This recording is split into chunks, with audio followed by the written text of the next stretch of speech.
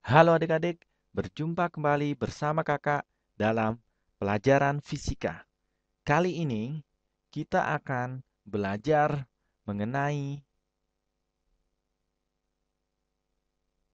dinamika partikel.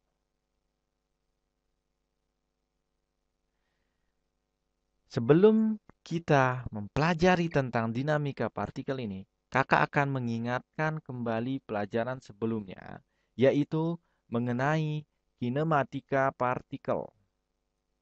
Kinematika partikel. Nah, dalam kinematika partikel ini, kita sudah mendapatkan besaran-besaran seperti jarak, perpindahan, waktu, kecepatan, dan percepatan. Nah, dalam kinematika partikel ini, kita mempelajari tentang gerak benda. Gerak benda. Tetapi, kita belum mengetahui apa penyebab dari gerak suatu benda atau suatu partikel tersebut. Nah, penyebab dari gerakan suatu benda atau partikel itu, itulah yang akan kita pelajari dalam dinamika partikel. Untuk mengerti lebih jelas lagi mengenai dinamika partikel ini, kakak akan memberikan kalian gambar. Nah, ini adalah gambar dua buah balok. Nah, Bagaimana cara untuk membuat benda ini bergerak? Untuk membuat benda ini berpindah posisi, balok ini berpindah posisi, maka kakak akan memberikan yang namanya tarikan. Nah, kakak menariknya.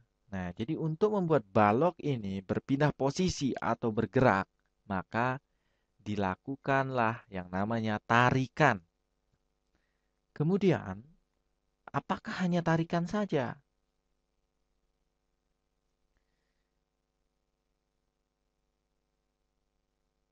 Nah, selain tarikan, untuk membuatnya berpindah posisi, kita bisa memberikan yang namanya dorongan. Kita bisa memberikan yang namanya dorongan.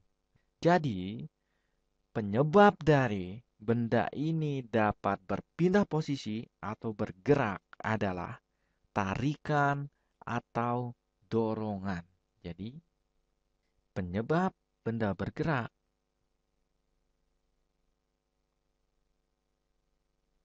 adalah tarikan atau dorongan. Tarikan dan dorongan inilah yang kita definisikan sebagai gaya. Jadi, gaya itulah yang membuat benda itu dapat bergerak. Jadi, penyebab gerak benda adalah gaya. Jadi, definisi dari gaya adalah tarikan atau dorongan yang menyebabkan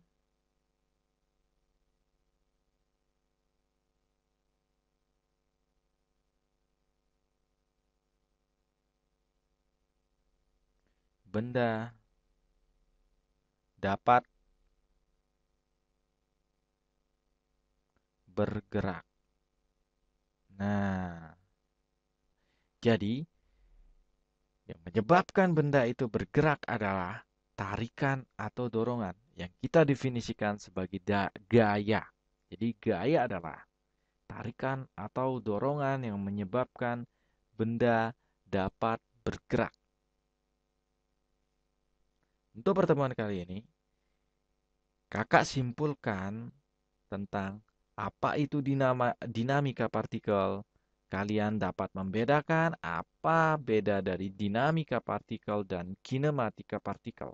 Jadi, kinematika partikel itu hanya mempelajari tentang gerak suatu benda.